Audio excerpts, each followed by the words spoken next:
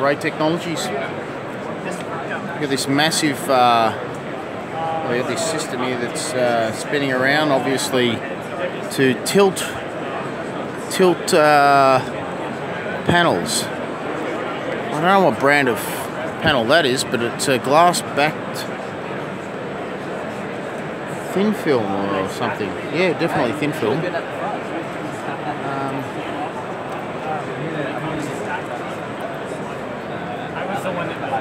G'day.